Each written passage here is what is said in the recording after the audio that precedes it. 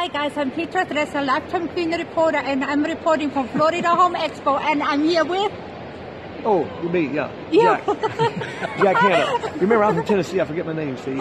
It's hard to even talk. I didn't learn English until I was 30. Hey, all people from Tennessee, don't be defended now, okay? You all know I'm your just- name. I'm joking. I love Tennessee. Where are you from? I'm from Germany. Germany. You guess what the uh, Hanna is? No? Scotch Irish, but my mother was uh, Bone Bushnell from Germany. Oh, sh- really? Yeah, yeah. So maybe we're cousins. Just kidding. I have more hair. I got more hair. We're not cousins.